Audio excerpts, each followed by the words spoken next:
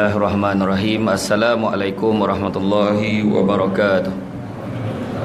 Alhamdulillah Alhamdulillah Allazi arsala rasulahu bil huda wa dinil haqqi liyuzhirahu ala dini kullihi. Wala karihal kafirun Wala karihal musyrikun Wala karihal muslimun. Subhanaka la ilma lana illa ma'allamtana Innaka antal alimul hakim. Rabbi syrah li sadri wa yassir li amri wa hlul 'udatam min lisani yafqahu qawli.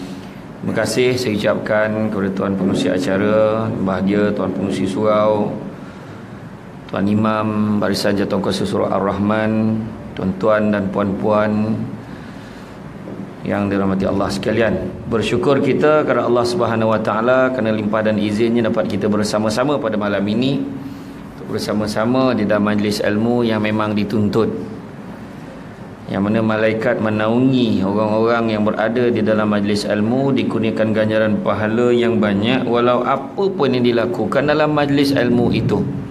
Termasuklah tidur. Ha, tak ada masalah dah. Ada poin itu kan? Ha, jadi seronoklah saya datang kali kedua ni. Cuma kali pertama tu lagi ramai sebab bawa boreh bawa apa kan? Masa tu kita ada penyampaian-penyampaian kan kita sekali kan. Jadi malam ni tajuk kita berkaitan dengan Islam dan kemasyarakatan.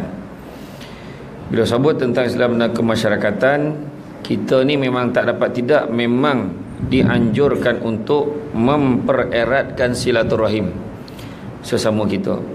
Dalam satu hadis Nabi sebut tidak ada dosa yang lebih berhak Allah segerakan seksanya di atas dunia dan simpan seksanya di akhirat makna dua-dua dapat ke dunia kono ke akhirat pun kono. Tidak ada dosa lebih berhak Allah segerakan seksanya di atas dunia dan simpan seksanya di akhirat iaitu dosa menerhaka kepada kedua ibu bapa dan juga dosa memutuskan silaturahim.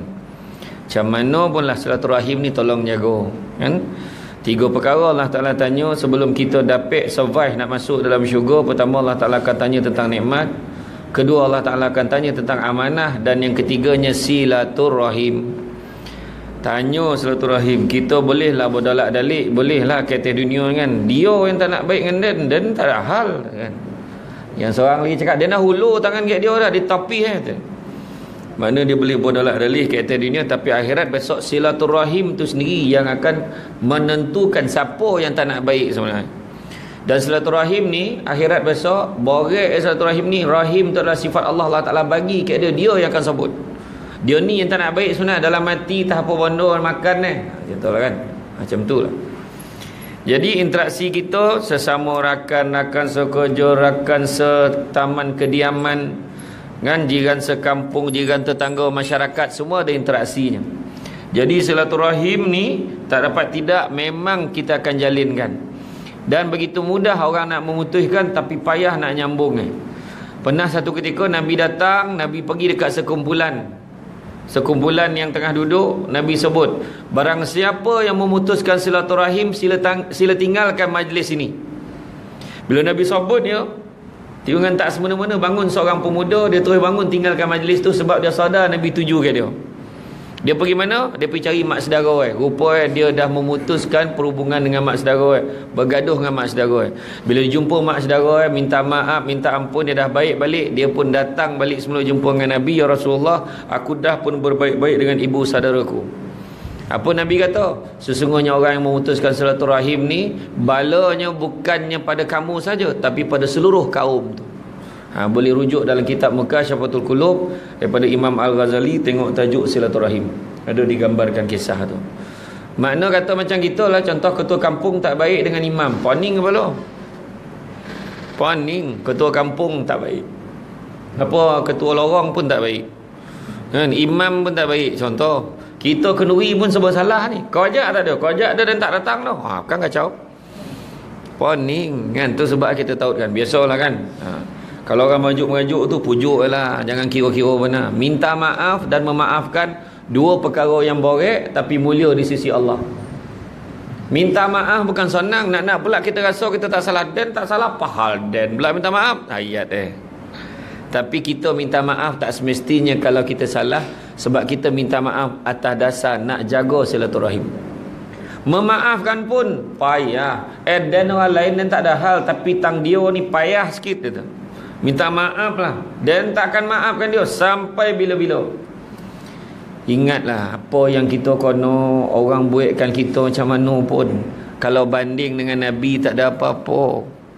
Orang kutuk kita tak luar apa pun. Orang fitnah kita tak jadi apa pun. Sebab ingat Nabi lagi teruk daripada tu. Nabi apa orang tak buat dia Orang tak hina dia Hina Orang cakap dia gila Orang cakap dia apa lagi? Sosek. Orang cakap dia ni ahli sihir. Macam-macam orang cakap Nabi kita.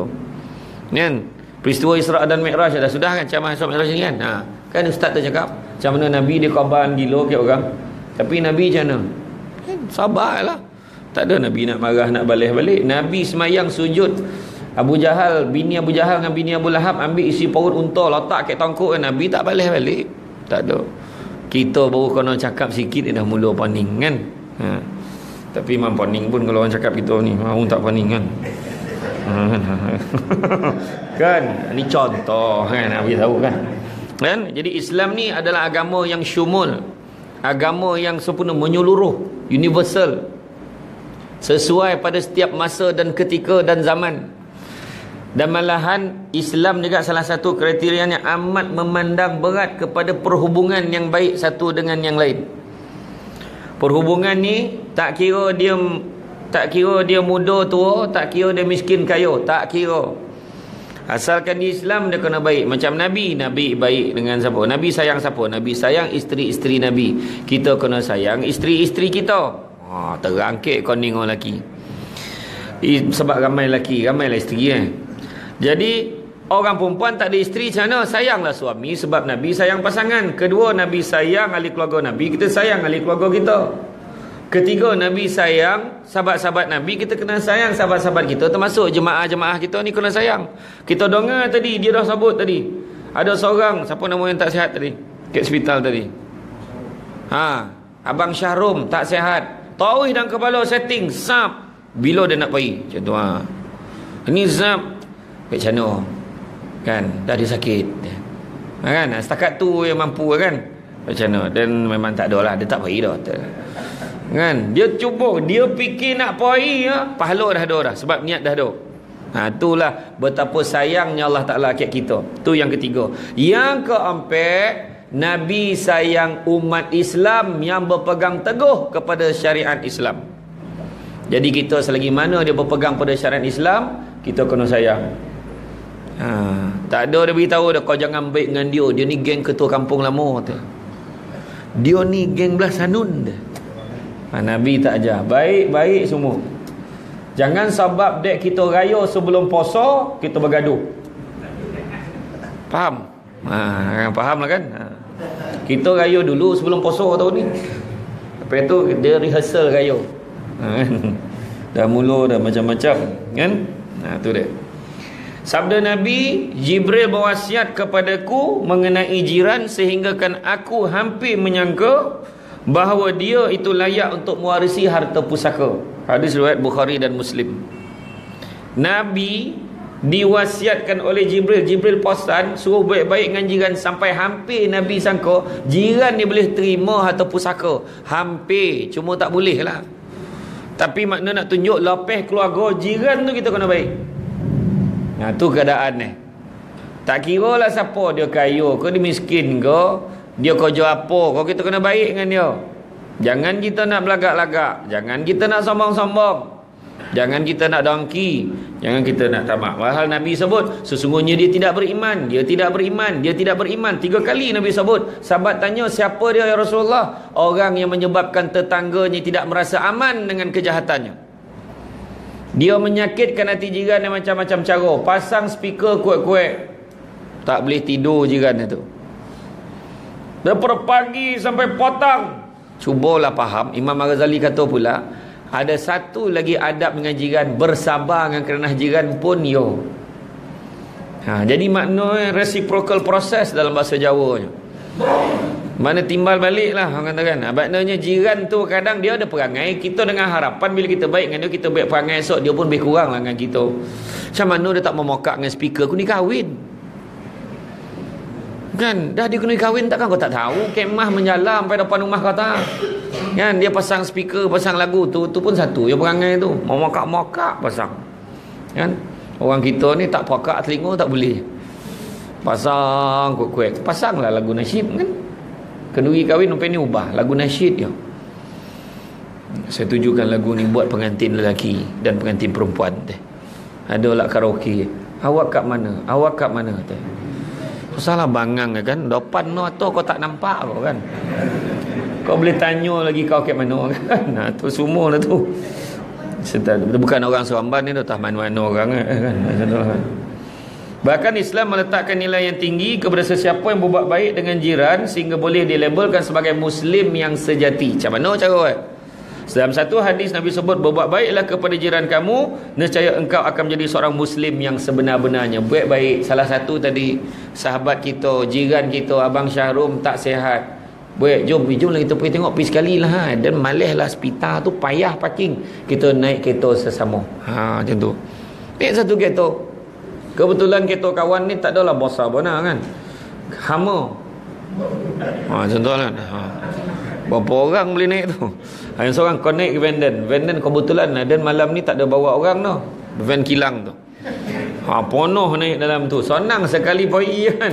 Ha macam tu lah laki eh. Makna eh pergi ziarah. Kita tengok baik-baik dengan jiran. Kan susah benar. Kat kampung emak saya tu alhamdulillah. Tanya tak kisah tak ada dari belakang tak. Macam mana dia kumpul duit dengan grup-grup ni kan. Grup-grup kuliah kelas agama tu kumpul duit sikit-sikit. Akhirnya dapat hantar jiran pergi ke pergi Makkah, kumpul duit bulan-bulan, sudah dapat hantar. Tu satu bentuk sedekah yang baik. Saya tanya orang yang pergi tu kebetulan hidup di depan saya pergi sama sekali pergi, umrah tu. Saya tanya dia, "Cik, acik berapa kali dah naik kapal terbang?" Inilah kali pertama dia orang sponsor dia tu dapat dia pergi dan pertama kali naik kapal terbang pergi Makkah. Tak main nak pilang kawi. Kali pertama pergi Makkah Hebat tak hebat. Dan pertama kali duduk hotel. Makan banyak. La ilah Allah. Ke Makkah orang Malaysia bangan makan banyak. Bayangkan. Lima kali sehari makan. Ha, makan minum minum pagi lagi. Makan tengah hari. Minum potang. Makan malam. Tu belum cerita keluar sendiri gitu. Membalun anak untung dengan anak apa. Itu saya lah bukan dia. Saya. dia tak ada. Saya lah. Sedap. Ya betul. Kalau pergi Makkah kan. Pergi dekat ni. Ar-Ridhan Huma sadap Daging kambing La ilah Allah Menyarap-menyarap makan Sebab dia berselo kan Dia tak ada tak ada duduk Kita duduk berselo Macam mana lah cara makan Macam mana lah duduk Macam mana lah cara Macam tu Kira kalau hidang habis lah Macam tu kan Iyo sadap betul Tak dapat bayang no. Sah sadap kan Itulah kadang-kadang Tapi jangan salah lah Dan target dan perumrah kali ni Dan akan balun daging anak unta tu Bukan macam tu lah kan ha. Macam tu lah Kan Kemudian sabda Nabi jiran ni ada jiran tiga hak. Ketiga kategori jiran, jiran tiga hak, jiran dua hak, jiran satu hak. Macam mana? Yang pertama jiran tiga hak, dia ni saudara kita, dia Islam dan dia jiran. Dia ada tiga hak. Hak sebagai saudara, hak sebagai orang Islam dan hak sebagai jiran. Jiran dua hak, dia bukan saudara tapi dia Islam. Tapi dia kejiran kita. Dia ada dua hak, hak sebagai jiran dan hak sebagai seorang Islam. Dan jiran satu hak pula dia bukan saudara, dia bukan Islam, tapi dia jiran, maka dia ada hak sebagai jiran. Ha, tu dia jiran tiga hak. Tu sebab kalau kita baik kena kenara, baik jaman raya, panggil yang bukan Islam pun panggil datang. Kan? Panggil dia datang semua makan. Manalah tahu dalam kita buat tu kita layan baik dia datang kan seronok dah. Hati tu usik tak sangka dia ajak air datang ke Nui ni. Dapat makan lamang sebuluh-sebuluh makan. Sadap betul rasa kan. Hati terusik dia tengok semua layan dia baik. Rupa-rupanya sahabat-sahabat yang sebangsa dengan dia pun tak layan dia baik macam tu. Contoh. Jadi dia rasa seronok. Lalah dia pun tanya imam. Imam, kalau saya nak masuk Islam macam mana? Hui, besar pahala masyarakat ni. Dek layanan ni. Nampak tak? Kita nampak macam biasa. Kita nampak macam biasa bila hantar air tu ke orang. Ambil lah ha. Minumlah ha. Air tu kau. Ya Allah, makasih. Padu dia besar mana makna ha. Walaupun air kosong. Ni contoh nak bagi faham. Kan? Ha, macam tu lah keadaan. Ha, uish mana kan? Dia puasa nazar ni. Hari kelima dah. Mudah-mudahan. Dua hari, dua hari lagi. Kan? Jadi, kemudian Nabi berpesan kepada Abu Zar kalau kamu masak makanan yang berkuah perbanyakkan kuahnya dan jangan lupa bahagian jiran kamu daripadanya. Hadis riwayat Bukhari. Maknoi masak lauk masak makanan lebihkan kuah upoi sunnah. Nabi dah pesan supaya boleh bagi jiran tapi janganlah sesaja masak kuah.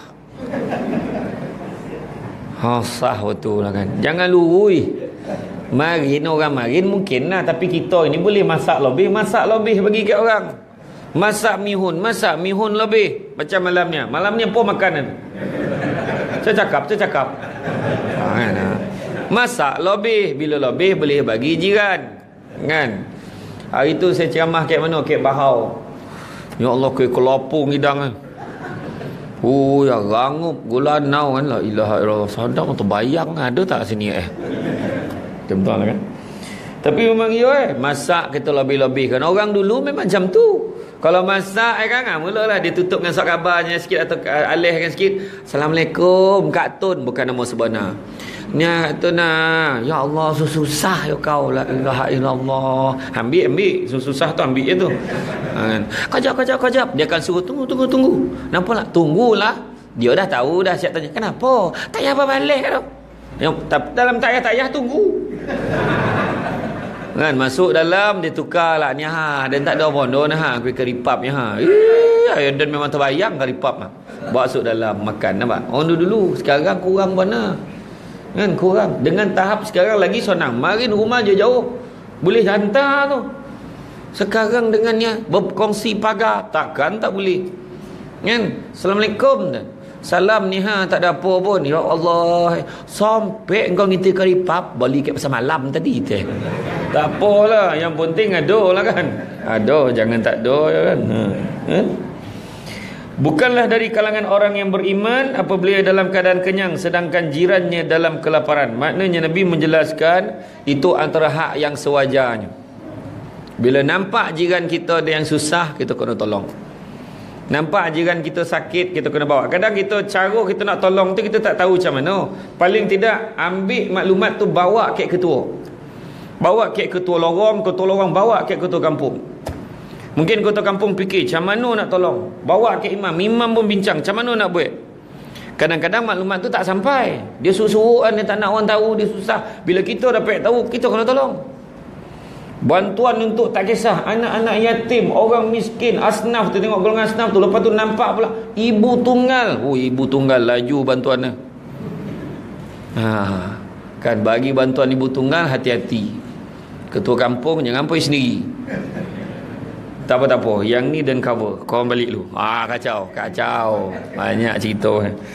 Kono pula ibu tunggal mudo pula. Oh, bukan sini tau tempat lain. Assalamualaikum. Salam. Ya Allah Abang Haji tak cakap nak datang. Ha, Kacau kan? Tu susah je Abang Haji. Dia pun dah kelang kabut Tudung tak sampai pakai. Dia helak eh, Sarung caution eh. Abang susah Ya kan? Bagilah bantuan apa yang patut kan? Orang susah ni. Sebab Bukanlah kalangan orang yang beriman Apabila dia dalam keadaan kenyang Sedangkan jirannya dalam keadaan lapar. Tu Nabi beritahu ke beliau ada yang susah tolong. Tolong ikut kemampuan kita lah. Memang betul tahap persaudaraan dalam Islam ni ada dua tahap. Satu ithar. Yang ithar ni biarlah kita susah yang penting orang lain senang. Makna mengutamakan kepentingan orang lain daripada diri sendiri. Contoh kita dah beratur kan? Kita beratur nak ambil makanan. Tengok tinggal sekotul ayam tu. Kalau kita ambil orang lepas ni memang tak dah. Kuih tak kita tak apa kau ambil. Dan tak apa dan ambil yang lain Memang dah tak ada apa lagi. Tu yang salah satu untuk kita. Tu ujian tu. Kalau kita boleh, tak apa kau ambil lah dan dah konyang. Kita mendahulukan orang lain. Maknanya kita sampai tahap ithar tu. Biarlah orang lain senang. Kita susah pun tak apa. Kita pergi KFC, boleh. Satu bokeh plastik tu buat balik.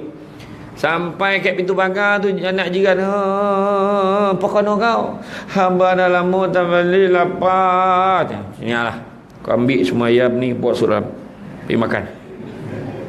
Memang dia kuat bila di luar. Masuk dalam kan payah jawab eh. Sebab bini dah tanya, ayam ayam, ayam. Wah kacau tu. Payah nak jawab tu. Dia tangan anak tu boleh cakap Nantilah lain kali Tapi bini tanya lain macam Bukan takut bini tu Bini menakutkan Mana ayam ayam ayam tak ada kesian orang sebelah tak pakai yang sabarlah kesian yang dalam ni ha apa kan kacau ha payah payah kita kalau tolong orang tak ada sampai tahap menyusahkan diri sendiri tu tak Ha, tapi tahap tu lah yang kita nak kanya. Tapi tak apalah. Itu tahap pertama. Tinggi. Ada tahap yang kedua. Yang kurang sikit tinggi. Eh, tapi itu pun. Apa apa taraf dia? Namanya salamatul sadri. Berlapang dada. Dapat tak kita berlapang dada? Dengan kelebihan yang ada pada jiran-jiran kita. Kadang jangan cerita jiran. Adik-beradik pun tak dapat lapang dada dia dapat tanah lebih daripada kita. Oh dah mula macam manalah alung dapat lebih hangah ni siapa? Tak gaduh. Kenapa motor abah tu bagi ke hangah alung yang selalu bolo motor tu. Bergaduh tak dapat dia lapang dadu tu. Sudah datanglah halang macam lah. Alung hangah jangan gaduh.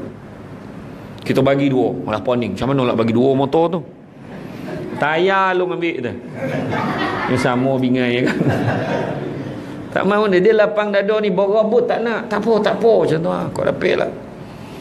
Berlapang dada dengan jiran kita. Apa salah eh? Orang perempuan kan dua lelaki. Abang, abang. Tengok jiran kita minyak cangkul dah sebulan tak dipulang eh. Orang yang tak lapang dada kurang ajar apa tu. Minjam pandai pulang tawati. Nampak? Tapi kalau berlapang dada. Biarlah dia dah ditolan dia cangkul tu. Eh. Besok abang beli lain Baru berapa ringgit cangkul tu Yang kau bising-bising Kenapa ni lah Besok abang beli cangkul barunya Yo ke bang Yo. Kan senang? Tak ada sakit jiwa orang. Betul tak? Bang bang Jiran kita tu bang Ya Allah pakai kereta basah deh Alhamdulillah. Untung-untung boleh kita tumpang dia Nampak? Senang ni pergi. So kalau pergi jalan-jalan Kita jangan naik lah kereta kau Nak ayo basuh naik kereta kau Abang ni kita pun kena tukar kereta lah Kau macam mana kau tengok kemampuan kita. Ha, nampak? Saya teringat wan saya sebut. Kancil kalau nak berak macam gajah mampu tu. Betul juga cakap wan saya tu. Kan? Saya tak pernah dengar peribahasa tu dalam peribahasa Melayu tu tapi dia sebut macam tu. Kancil kalau nak berak macam gajah mampu. Yalah berak gajah bahasa mana? Kancil bahasa mana? Nampak tak? Maksud dia ukur kemampuan diri sabarlah yang tak apalah biarlah dia pakai kereta besar pun. Yang penting kita pakai kocik pun yang penting kita bahagia. Apa ni poning kepala baik apa? Macam tu lah tapi insyaAllah abang pun ada target. Abang nak beli ni Range Rover. Ha? Yo kau bang Iyo. Dalam akaun abang tu dah ada dalam RM200 Tapi ingat cukup lah dalam tempoh berapa puluh tahun lagi sekarang tu bini malih buat dengan abang ni kan? Yalah nak buat apa? Pening-pening kepala betul tak? Kita memikirkan benda-benda yang tak ada ni susah. Memikirkan benda hati sakit buat apa? Jangan tamak. Jangan dongki dongki ni bahasa Melayu bahasa Arab eh hasad. Punya toruk kat Malaysia ni dua-dua pakai. Hasad dongki dua-dua pakai. Dongki manjam dia dah lama hidup membujang umur 70 tahun Dapat kahwin bini 25 Yang kau sakit hati kenapa? 70 Bini 25 Itu jodoh namanya Kenapa nak bising-bising? Cuba cakap baik. Alhamdulillah. Salam atau sadri. Alhamdulillah. Dapat bini yang tagap Boleh jaga dia. Kan senang? Ini tak? Malam pertama mampu itu La ilaha illallah. Ayat kau Tak ada batu elok kan Cubalah doa yang elok-elok kan. Ha. Rupa-rupa togak pandai dan semua pandai ni pandai. Ha. Cuba sangka baik macam tu je. Orang tu dapat jadi ketua kampung. Dah habis ni kan jadi tiba ni lah jadi pengusi satuan penduduk. Mana mula lah? Apa bodoh? Macam mana dia boleh jadi ketua? La ilaha illallah. Dengan izin Allah dia dapat jadi ketua. Undi dia lebih.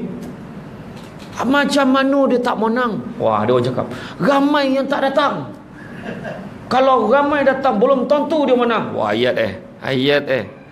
Kenapa ramai yang tak datang dengan izin Allah juga ramai yang tak datang itu. Kena fikir.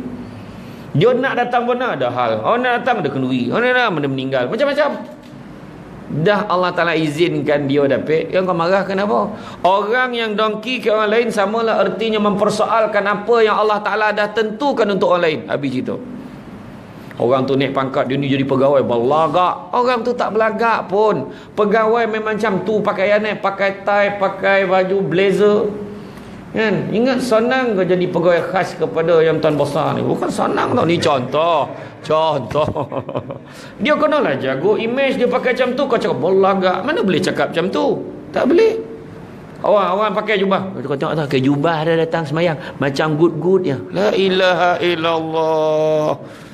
Dia memakai jubah ni salah satu cara dia tu nak tertib bersih ikut sunnah nak salat. Kita lah nyangkut-nyangkut apa hal. Nampak tak? Tu penyakit orang kita tu. Kena buang je jauh dalam masyarakat kita ni buang.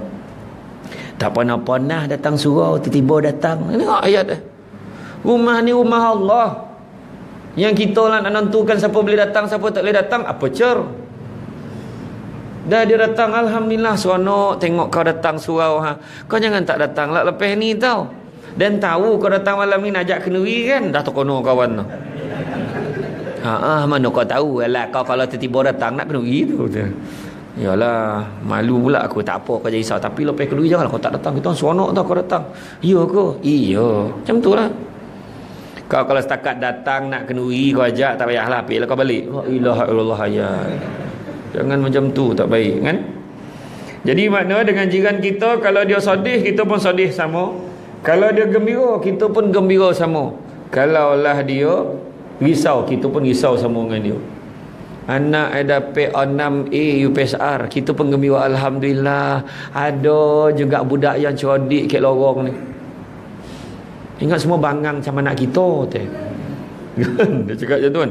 Tak ada dah Alhamdulillah ada yang pandai eh. dia sekolah mana sekolah ni ah, ya ha sekolah biasa. Ya kok oh makna tak ada masalah lah dia sekolah ni pun tak ada masalah. Yang penting dia rajin belajar.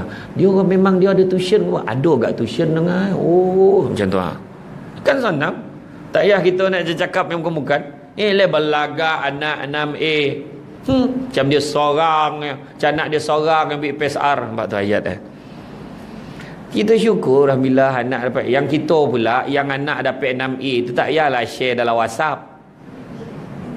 Alhamdulillah. Tak sangka pula Anak saya dapat 6A Terima kasih Kerana semua mendoakan. Orang lain Ya Allah Bertaik-bertaik Tengok orang lain.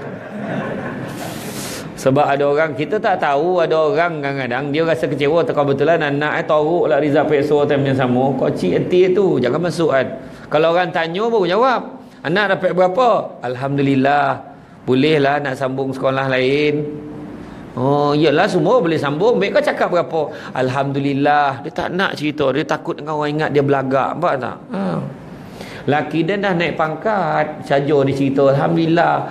Berkat doa semua. Semua terfikir sebila lah kita doa laki dia. Tu. Semua lah tu kan. Dia dengan cara tak langsung. Dia belagak tu. Eh? Jangan kita sombong-sombong kan? Tak ada bondo pun. Saya selalu cakap Dunia ni sementara sifat eh Semua tahu. Dunia Sementara sifat eh Apatah lagi yang ada dalam dunia tu. Ha. Malam ni ramai lah yang masuk dalam Facebook tu. Dunia ni sementara. Apatah lagi apa yang ada di dalam dunia? Nukilan SSD oh. Saudara Syamsul Debat. Jangan lu tulis Ustaz Syamsul Debat Ustaz Samsul Debat USD mahal tu US dollar tu memang ha, macam tu lah kan. Ha, dunia ni sementara sifat eh. bila dunia sementara sifat eh, apatah lagi yang ada dalam dunia? Saya ceramah hari ni tak payah nak lagak-lagak dah. Bukan lama benar dah. Sampai masa orang dah tak dengar dah. Kan? Tak ada dengar dah. Mungkin orang lain pula. Mungkin ni adik-adik ni pula dah naik jadi penceramah pula. Dia pula orang dengar ceramah dia. Ya.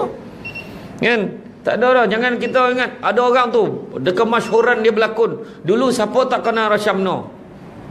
Nah, jadi sekarang Rashamno menego dah. Ya, bisnes-bisnes lain. Dia buat, dia terbitkan filem. Dia tak ada nak jadi hero lagi dah.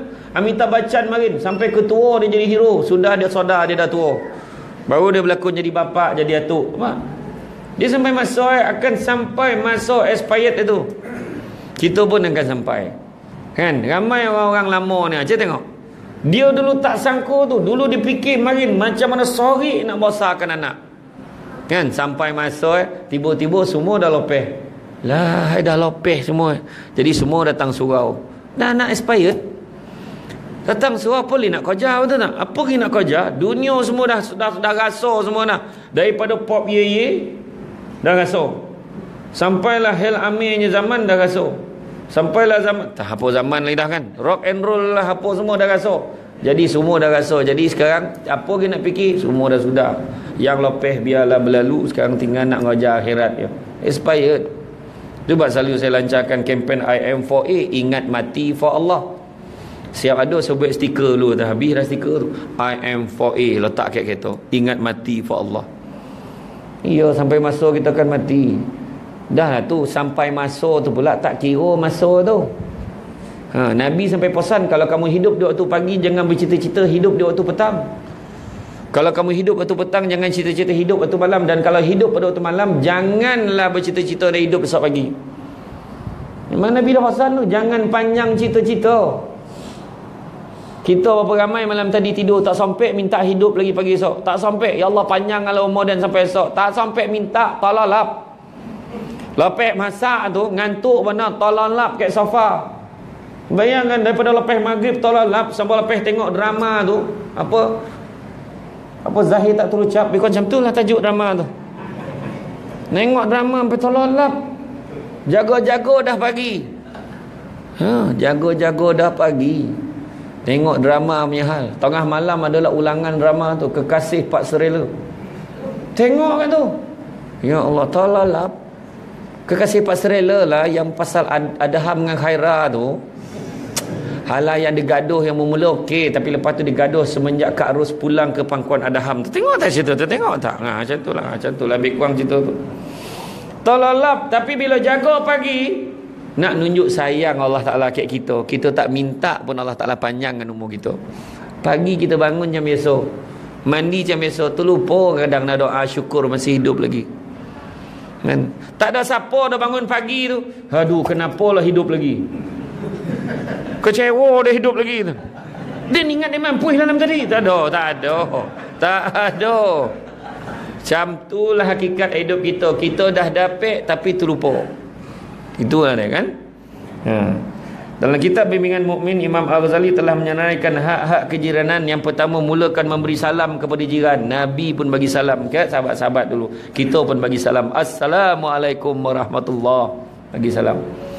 Suami isteri lagi elok bagi salam tu. Assalamualaikum warahmatullahi Isteri nyaut Waalaikumsalam warahmatullahi Wahai suamiku. Saling doa mendoakan. Bertempiaranlah lari jin ni nak mengacau rumah tangga gitu.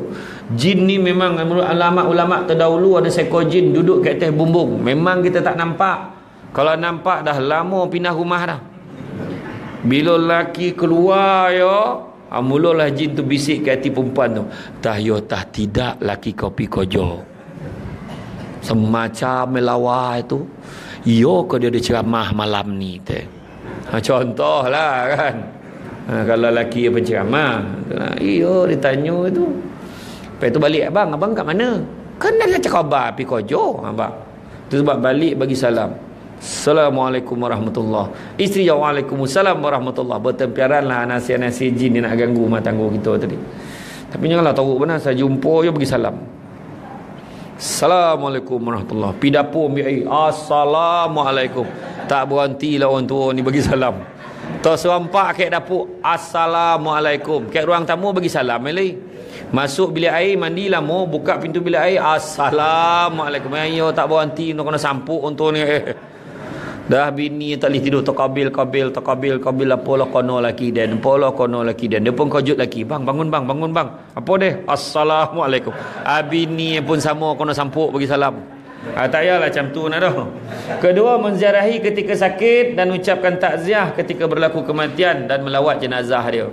Nampak orang tu susah, pergilah. Sabarlah nak buat macam mana dah kau kono macam ni kan. Belaki kau kono buang kojo, kau sabarlah banyak-banyak. Sabar tau. Eden dulu pun pernah laki dan kono buang kojo. Yo kau tengok elok laki kau. Yo daripada tu sampai sekarang tak kojo tengok. Iyo ko ha itulah kau sabarlah banyak. Bila orang tu sakit cakap lah elok, hiburkan hatinya. Assalamualaikum. Jam. Sihat. Eh, tak nampak dan terlantar. Ha. Tak sihat. Berapa hari dah ni? Tiga hari dah. Hajar risau lah. Hari kelima so elok tu. Yang penting kau makan ubek. Kau kena semangat sikit. Jangan risau. Kita semua doakan kau ni. Tak sabar nak tengok kau kembali ke surau ni. Iyo kau. Iyo. Kau jangan risau. Eden pun macam tu lah. Sebiji kau ada rasa pening-pening kepala tak? Aduh. Borek nak kepala. Nak angkat pun bayar. Aduh. Sama macam ni. Hari kelima okey. Iyo kau. Iyo. Oh, kawan pun dengar. Hui logo lah sikit. Alhamdulillah mudah-mudahan lah. Yo. Iyo. Kau kena semangat sikit. Ni tak kau berapa hari dah? Tiga hari dah. Kau standby lah. Dan kawan ni ada seorang macam ni. Hari kelima langsung padam. La ilah ilah. Tak ada batu elok cakap ada kan. Kawan tu, ya kau. Eh, jangan. Orang yang tengah sakit ni kan cakap elok dengan dia. Kan? Jangan terlalu banyak bertanya tentang hal ehwal dia. Kita selidik gaji, kau, laki kau kerja mana gaji berapa eh, jangan kau nak susu on mesti banyak laki melampuh gaji kan mana ada Alhamdulillah syukur cakap lah eh, tak apalah jangan paksa benda tak patut tahu Wih, laki kau dengan dengan TV tu berapa uh, satu episod bayar tu? Oh, tanya tu. Ada yang tanya tu. Kan? Ha, tak apa nanti lain kali kita cubalah bawa saya nampak studio ni ha, kalau studio Ali Jerah kalau buat sini rakaman sesuai. Tapi kalau Chania ramai okey. Kau ramai bona payahlah sikit.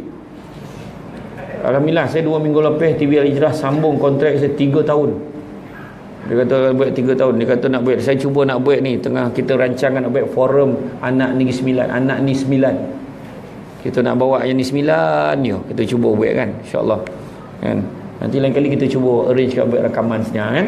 Buat rakaman senyap. Samsul debat buat senyap. Mudah-mudahan. Dan kemudian jangan terlalu banyak tanya hal peribadi. Maafkan segala kesalahan. Jiran kita buat salah, maafkanlah. Bang tengoklah tu abang ha. Dia bila basuh kan, basuh keto kan banyak jejeh hari mesti sampai senyap.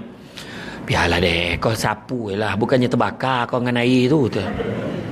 Iyalah tahulah tak terbakar Hati ni terbakar Sabarlah sikit Kan memang Ghazali pun dah posan So kita sabar dengan kerana jiran pun tu salah satu tanda Kita menjaga jiran kita Yolah ada cakap eh Hadis lah Ya Quran lah Eh eh kata Kau dengar cakap dia ni Bukan apa Ini satu-satu cara kita nak baik dengan jiran kita Jaga jiran kita Nak masuk syurga ke tak kau ni Iyo ha, ya, kan senang Sentiasa sikap lemah lembut terhadap anak-anak jiran dengan tutur kata yang baik. Assalamualaikum, melong, ayah dah.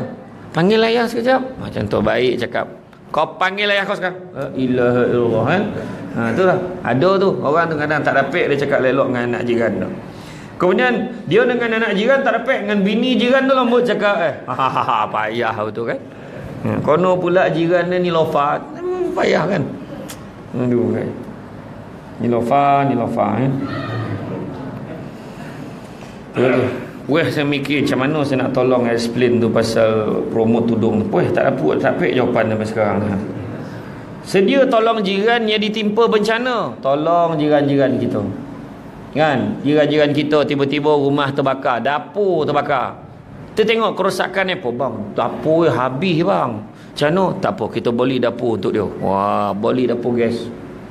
Tapi bang dia pakai dapur moden dah jadilah kalau dah tukar dapur tu bagi ni ah, mana yang ada lidak dia boleh masak dulu sementara. Bagi gas sekali.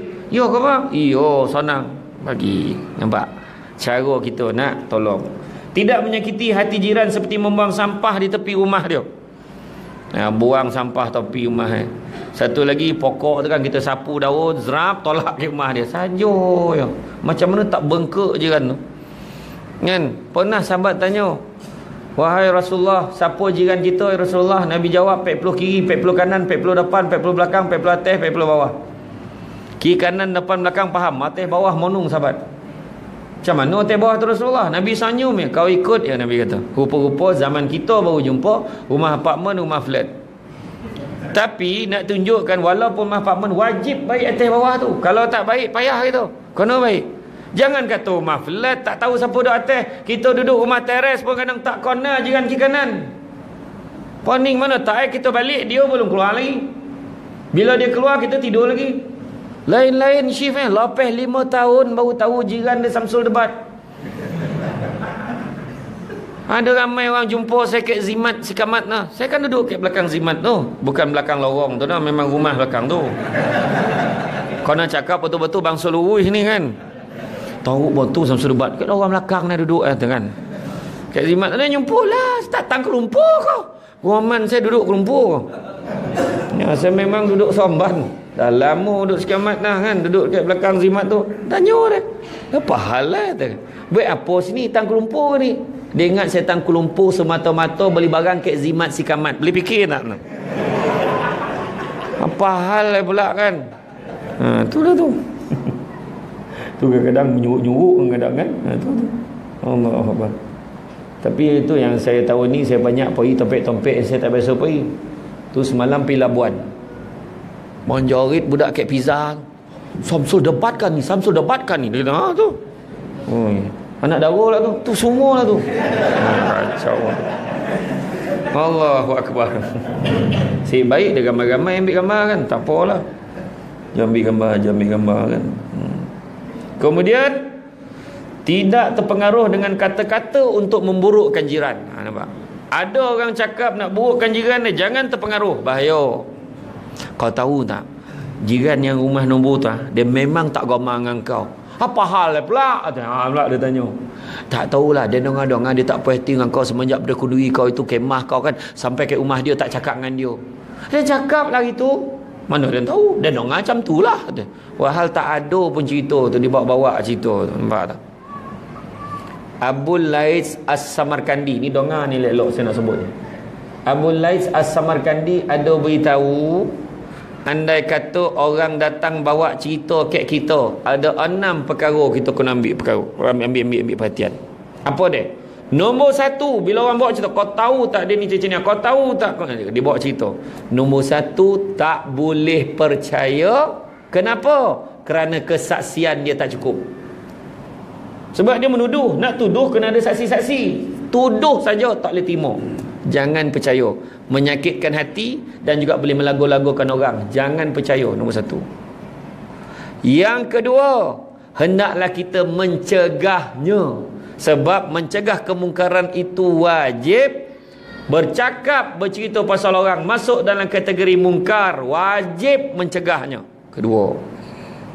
Yang ketiga, hendaklah kamu membenci perbuatan itu sebab apa? Sebab perbuatan itu masuk dalam kategori maksiat sebab bawa cerita tak elok pasal orang. Keempat, janganlah kita bersangka buruk dengan orang lain kerana bersangka buruk sebab cerita yang dibawa tadi, bersangka buruk sesama muslim hukumnya haram. Kelima, dah dengar cerita, janganlah pergi selidik pula menyelidiki cerita tu betul ke tidak eh. Janganlah kamu mencari-cari kesalahan orang lain. Allah melarang kita mencari-cari kesalahan sesama Muslim. Dan donga dia laki bini dah bercerai.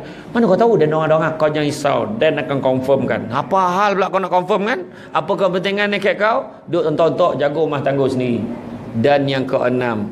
Bila mana kita membencinya, janganlah kita mengulangi perbuatan itu. Iaitu dengan kita pula menyampaikan cerita tu ke orang enam perkara Abu Lais As-Samarkandi Abu Lais As-Samarkandi ni banyak menulis dalam buku dan antara benda yang perkataan yang menyebabkan saya suka lah satu perkataan yang unik dia kata menyembunyikan keburukan kan menyembunyikan keburukan kita sama standard eh sama tahap dia kita perlu menyembunyikan kebaikan kita kita kalau boleh tak nak orang tahu kan aib kita kan. Macam tu jugalah kita kena sembunyikan kebaikan yang kita buat. Masalah kita tak. Yang buruk simpan. Oh yang baik semua jaga ke orang. Dan kau tahu tak berapa banyak dan stokah hari ni. Habis duit dan habis. Segala surau dan bagi ini. Tak tahulah. Dan rasuah tak ada surau yang tertinggal hari ni. Rumah ayat kan. Kawan dengan lain macam ayat kan. Mentang-mentang lah kita tak sedekah. Macam tu kan. Ha, dia cakap. Itu sebab eh, sedekah. Berapa banyak kek surau ni kan? Mana tabung kan? Ha, kek dinding tu. Tiru je tak? Nampak tak? Jadi bila masuk tu kalau jatuh tu ada potensi berbunyi. Zoom. Ha kan ha. Nampak tabung jangan buat tak nampak. Elah dia ingat tiang apa tu kan? Ha masuk dalam tu tabung. Iyo. Sedekah banyak-banyak. Kan? Cuba fikir balik. Fikir balik paling senang. Eden duduk ke Taman Sri Pulai ni. Ha? Daripada tahun 2007. Betul lah. Sampai ni 2007. sampai 2007 boleh? 8 boleh dah ha? La ilah Allah tak betul kira. 2007 sampai 2008 boleh? Berapa tahun dah tu? So boleh tahun. Katalah setahun seratui. Makna patut dah ada seribu. Cuba semak balik. Sampai seribu tak kita masuk dalam tabung tu setakat ni komen lah kita. Kalau kita tak boleh bagi kira apa? Eh kalau dia guna duit tu katalah kita nak tukar kapet. Zap tukar kapet. Tabah dia alih lagi satu lapis lagi. Sujud tabanam muka. Lameh tu. Zoom hilang. Tak nampak apa. Hu ya selagi mana orang guna kapet tu untuk solat selagi tu kita dapat pahala. Cuba fikir macam tu. Kita ni nak simpan saham akhirat ni.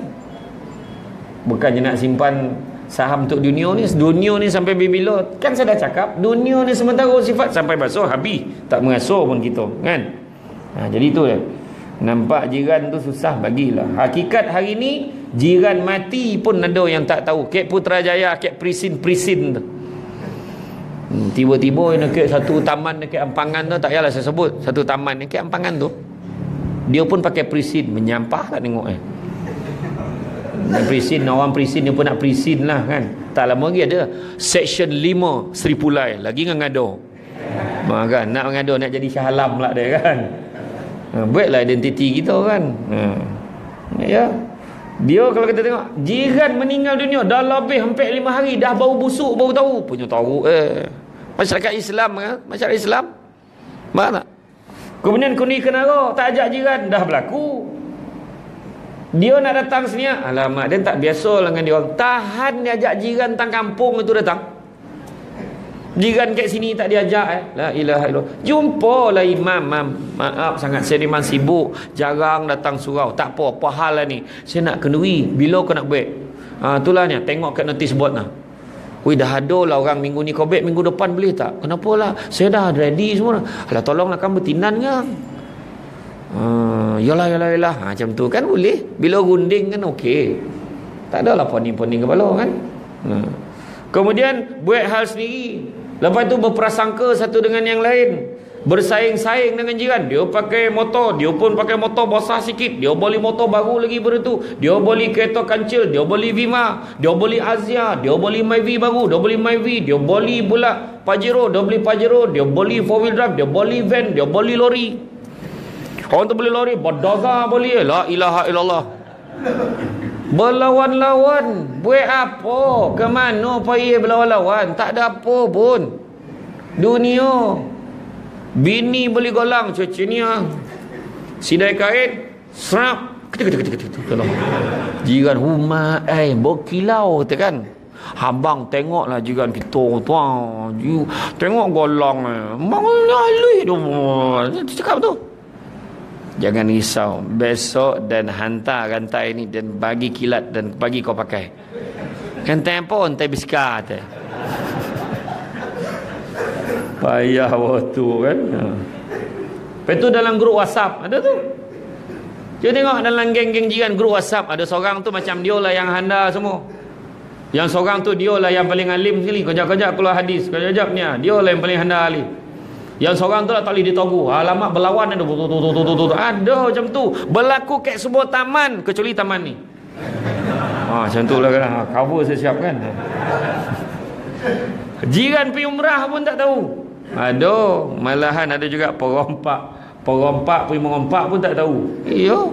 Berlaku kat seman dua. Kawan tu baru pindah. Besok tu pindah balik. Dia baru pindah hari ni. Besok tu pindah balik. Ha, nampak lori dia buat tet tet tet tet dia punggah barang masuk dalam lori. Rupa perompak. Hari kedua baru pindah hari ni besok dah pindah apa logik itu?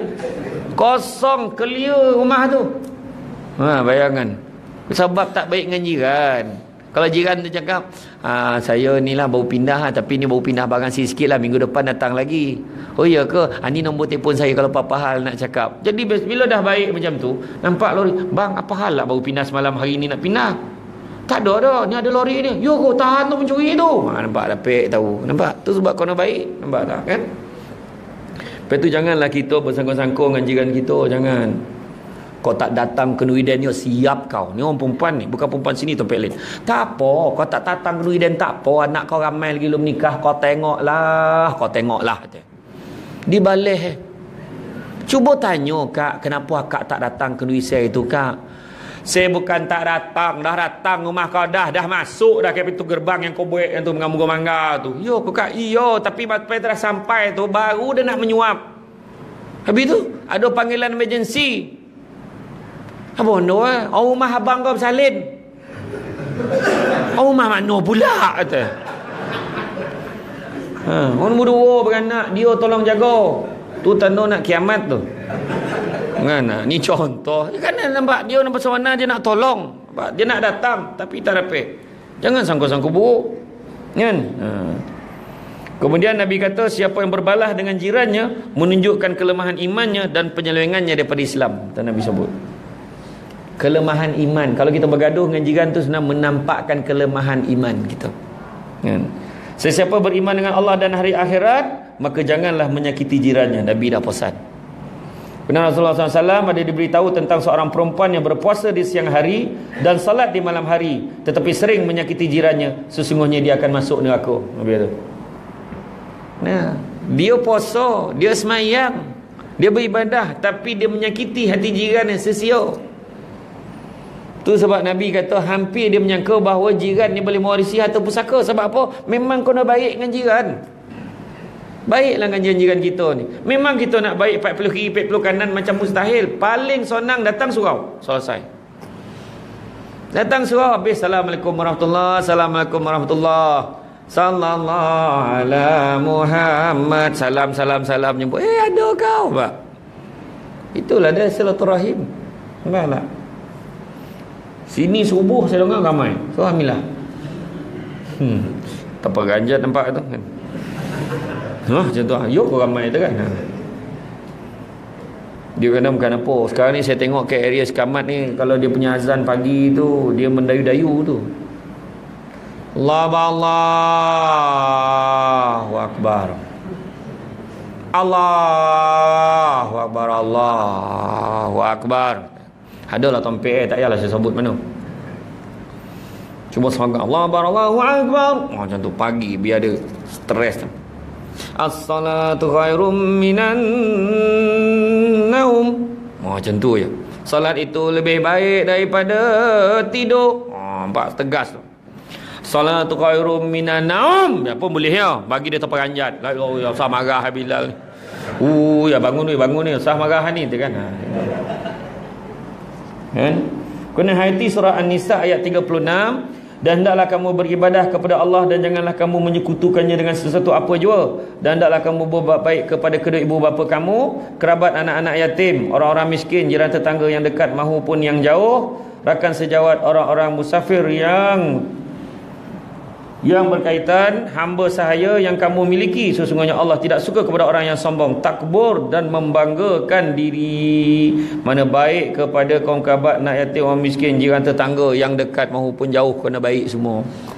Baik kan? Ha, dengar tu dalam surah An-Nisa tu Nabi itu hayati juga sabda Nabi barang siapa yang beriman kepada Allah dan hari akhirat maka hendaklah dia memuliakan tamunya. Dan barang siapa yang beriman kepada Allah dan hari akhirat maka hendaklah dia menyambung silaturahim. Hadis riwayat Bukhari dan Muslim. Memang kena baik satu dengan yang lain. Sebab kita kena ingat hari ini cabaran untuk umat Islam semakin besar. Ni bukan cerita politik, bukan cerita pelanggaran, tapi hakikatnya umat Islam dalam keadaan sangat kritikal bila kita ber, ber, apa, terlibat dengan perpecahan. Macam-macam pertikaian yang orang bawa kepada kita sekarang. Antaranya dah mula orang cakap azan kenapa lah kuat-kuat mengganggu orang nak tidur pagi. Dah mula kemudian dah ada orang mempertikaikan kenapa orang Islam bayar cukai dapat pelepasan zakat tinggi? Dah mula tanyalah sahabat-sahabat yang kerja lembaga hasil. Saya tanya betul tak ada runggetan tu? Kemudian dah ada dah kan? Orang petikai kan dari segi bayangkanlah fatwa pula. Fatwa nak lulus kena pula bawa mesyuarat esko ni pengusikan oleh bukan Islam. Tak kau katun nama tu. Kan tu sebab eh kenapa jadi macam tu? Cuba tengok pesta arak tu. Pesta arak Oktoberfest nak buat tu. Dia orang buat setiap tahun. Memang buat setiap tahun. Selama ni buat tu tutup. Tiba-tiba nak buat open Saja eh nak buat cara terbuka di Kuala Lumpur nak tarik pelancong. Cuba fikir. Bukan sebab dia nak buat bonus selama ni okey dia buat tutup. Saja nak buat tu nak tengok orang Islam ni setakat mana marah. Tapi Alhamdulillah masa tu orang Islam semua bising, orang Islam semua bantah, orang Islam semua kuat, menentang habis-habisan. Akhirnya benda tu tak dapat dilaksanakan secara terbuka. Bahaya bila dia balik macam mana dia nak kawal untuk pastikan yang minum tu hanya orang bukan Islam aja. Macam mana dia nak kawal dia tak boleh jawab. Itu yang bahaya. Eh. Itu sebab hati-hatilah. Kan kita tak tahu kan akan datang kita tak tahu. Tapi apa yang ada hari ni kena jaga. Tu kata ahli falsafah tu. Semalam ibarat cek tenang. Tak ada nilai. Lupakan saja. Esok ibarat buku hutang. Entah bayar, entahkan tidak. Tapi hari ni ibarat wang tunai. Gunakanlah ia sebaik-baiknya. Fikirlah elok-elok. Macam mana yang kita nak. Kan? Sampai masa esok takut jadi subjek agama pun tak boleh lah. Takut macam tu ya. Kan? Ada satu negeri. Tak nak cerita lah negeri mana. Satu negeri tu. Ada satu masjid. Dia ada kawasan lapang ke tepi tu. Ada kawasan lapang. Dia nak buat kelas agama, nak bina bangunan kelas agama. Ditolak oleh pemimpin pemimpin tempatan tu ditolak tak setuju pembinaan tu wahal buat dalam kawasan masjid ha, nak cerita apa tuan-tuan hati-hati lah tu sebab saya suruh fikir elok bukan apa tu kita ni Islam ni Alhamdulillah kat Malaysia ni jadi contoh terbaik banyak negara-negara lain mengagumi Malaysia jagolah elok kan Imam Al-Qurtubi sepakat menyatakan ulama Islam sepakat menyambung silaturahim wajib dan juga memutuskan silaturahim adalah haram. Menyambung silaturahim itu wajib, memutuskannya adalah haram. Ingat tu. Sabda Nabi, tidak ada dosa yang lebih berhak Allah segerakan seksanya. Ini yang saya sebut tadi lah. Yang atas dunia dan juga di akhirat tu iaitu dosa menderhaka pada keribu apa dan juga dosa memutuskan silaturahim. Hadis riwayat Abu Daud. Sabda Nabi SAW, siapa yang menjauhi saudaranya selama satu tahun, maka seolah-olah dia telah membunuhnya. Ha, bayangkan tu. Punya borek. Sebab-sebab nak menjaga silaturahim, pertama taat kepada Allah, kedua untuk dipanjangkan umur dan dimurahkan rezeki, mendapat ganjaran syurga seperti mana hadis riwayat Abu Daud, disayangi Allah, Allah akan sambung hubungan dengan orang-orang yang menyambung silaturahim dan juga disayangi oleh manusia. Hablum minallah hablum minan nas. Kita jagalah hubungan kita dengan Allah jagalah hubungan kita sesama sesama manusia. Ha. jadi rasa cukuplah setakat itu. Ha, terima kasih banyak. insyaAllah kalau tak ada apa-apa aral melintang kalau nak buat kuliah bulanan boleh lah sebulan sekali tapi tak dapat lah nak tentukan hari-hari apa dah insyaAllah kan saya ni kadang masuk-masuk tu ada lah tapi kena cek dengan saya lah tu kan ha, insyaAllah tak ada masalah dah Jangan dengar cakap orang tu. Mahal bayar Samsul ni. Jangan dengar cakap orang. Mandai ya. Hari tu keluar tu cerita tu. Samsul debat dia menguruskan siapa nak nikah Kek Siam. Memang tu kurang hajar apa tu.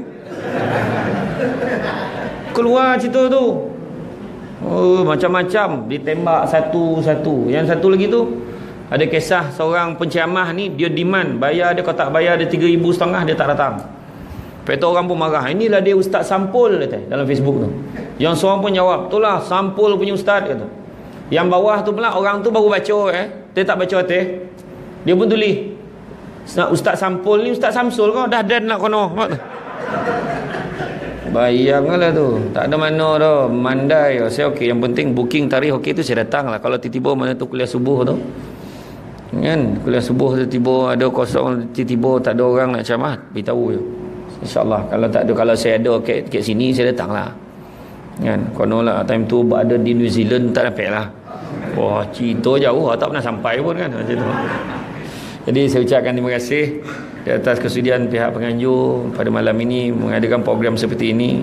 Mudah-mudahan sesamalah kita mengambil itibar walaupun sedikit sama-sama kita sebar panjangkan dan kita manfaatkan bersama-sama. Tiga nikmat Allah Ta'ala tanya ah, tiga perkara Allah Ta'ala tanya. Allah Ta'ala tanya tentang nikmat Allah Ta'ala tanya tentang amanah ada Allah Ta'ala tanya tentang tentang rahim bila sebut tentang nikmat nikmat umur, nikmat muda nikmat harta dan last sekali nikmat ilmu. Ilmu yang kita dapat jangan lupa sebar panjangkan dan manfaatkan dalam kehidupan kita sehari-harian. Sesungguhnya yang baik itu datang dari Allah SWT yang kurang itu berpunca daripada kelemahan saya sebagai manusia biasa. Pokok sekayu daun selasih. Thank you terima kasih. Assalamualaikum warahmatullahi wabarakatuh